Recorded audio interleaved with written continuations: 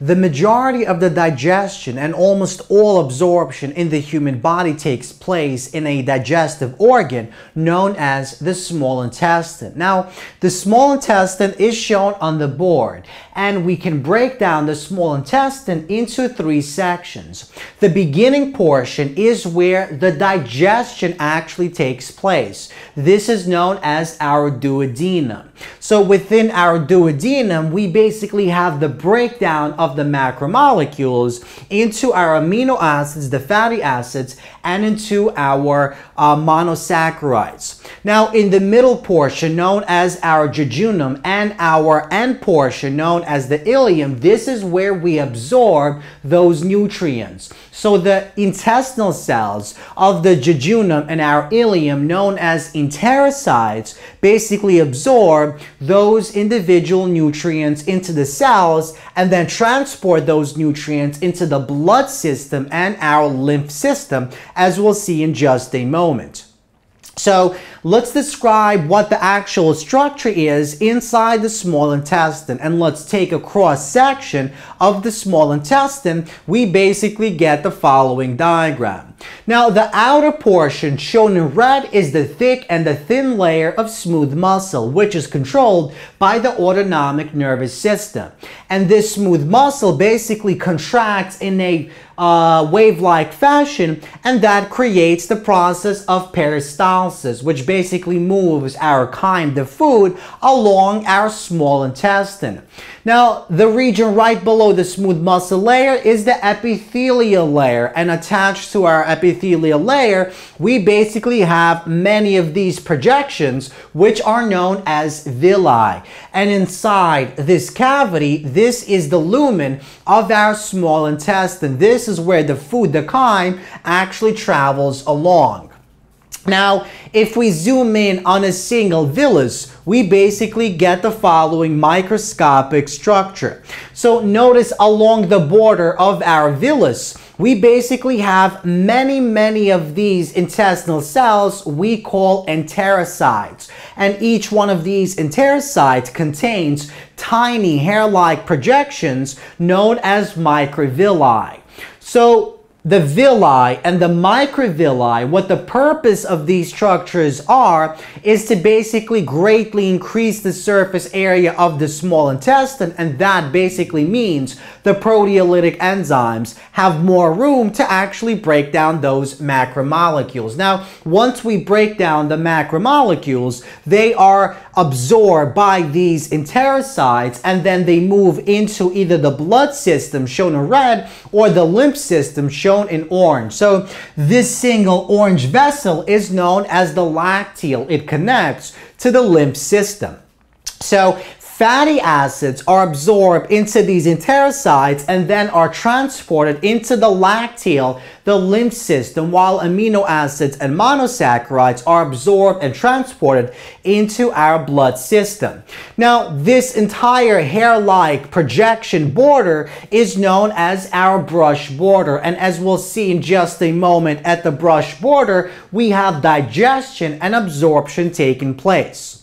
So as we mentioned earlier, inside our duodenum, we basically have our digestion taking place. So the cells inside this region are capable of producing our proteolytic enzymes that break down our polysaccharides, the polypeptides, as well as lipids. On top of that, the brush border found in the duodenum also contains proteolytic enzymes that are attached onto the membrane of the enterocytes. So when those macromolecules approach these microvilli of enterocytes, those, that membrane of these enterocytes contains these proteolytic enzymes that can break down the macromolecules into smaller units. Now, in addition, we have specialized types of exocrine organs, exocrine glands in the human body, and one is our pancreas. So the pancreas basically produces its own proteolytic enzymes and it mixes those proteolytic enzymes in a solution that is basic. It consists of bicarbonate. And the reason it's basic is because all the enzymes found in the small intestine only function at a pH that is basic, at a pH that is equal to about 8.5. So the pancreas produces proteolytic enzymes that are mixed in a basic solution composed of bicarbonate. Bicarbonate is basically what makes it basic, what gives it a pH of about 8.5.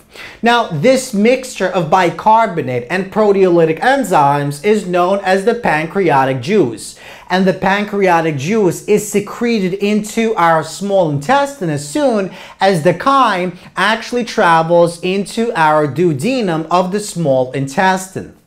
Now, another type of organ that basically helps us digest things is the liver. The liver produces a special type of mixture fluid known as bile. And bile is basically a mixture of water, of fats, such as cholesterol, as well as bile salts. And what bile does is it basically emulsifies our lipids in the small intestine. It mechanically digests, it breaks down our lipids into smaller pieces, it increases the surface area, and it allows our lipase, the enzyme that breaks down lipids, to actually break down the fats inside the small intestine. So this bile is stored in a structure known as the gallbladder and is released through a duct as soon as chyme makes its way into our small intestine. So once again, the liver produces bile and stores it in the gallbladder. When chyme enters the small intestine, the bile is dumped into the lumen of the small intestine into this section here. And what that bile does is it basically emulsifies. It mechanically breaks down our lipids into smaller pieces so that our lipase, the proteolytic enzyme, can actually chemically digest and cleave those ester bonds inside the lipids. This process is known as emulsification. So without bile, we would have a lot of trouble actually breaking down our lipids. And once again, all the enzymes that function in the small intestine function at a pH of about 8.5. And what gives it a pH of 8.5, what makes it a basic solution inside the lumen of the small intestine is the bicarbonate that exists in the pancreatic juice. Now, before we go on to absorption, one thing that I forgot to mention inside the small intestine is these specialized types of cells known as goblet cells. So just like in the stomach, we have mucus cells that secrete mucus inside the small intestine, we also have these cells known as goblet cells that secrete mucus and the mucus basically protects the epithelial layer from being damaged by the environment found inside our small intestine. Now finally, let's briefly discuss the process of absorption. So inside the jejunum and the ileum, we have those nutrients that have been broken down are now absorbed by the enterocytes of our villi found on the border of the small intestine, on the intersection of the small intestine. Now, we basically have those lipids, the triglycerides, are broken down into fatty acids. And these fatty acids can easily pass across the membrane of enterocytes because the fatty acids are lipid soluble. And then those fatty acids enter the lacteal and are transported into our lymph system. And eventually they make their way into our blood system.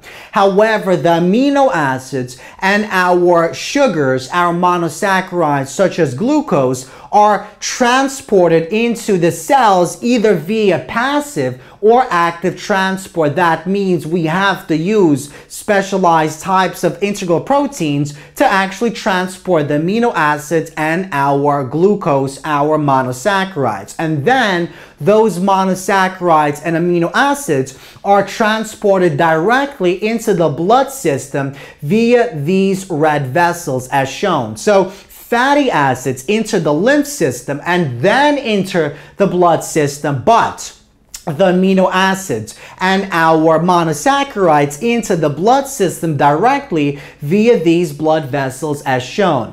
And in the next lecture, we're going to focus on the specific types of proteolytic enzymes that are produced by the small intestine as well as by the pancreas.